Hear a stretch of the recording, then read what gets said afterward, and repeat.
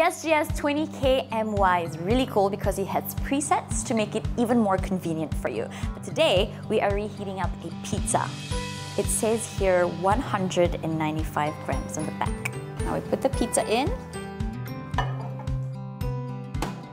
Our pizza is 195 grams, so we gotta go 100, 200, the closest. And then click start. So that's about seven minutes that you have to wait for a 200 gram pizza. And it's done! It smells so good! And you have yourself a yummy, yummy pizza. Ooh. And then now we see the cheesy goodness. And you're ready to eat. Enjoy!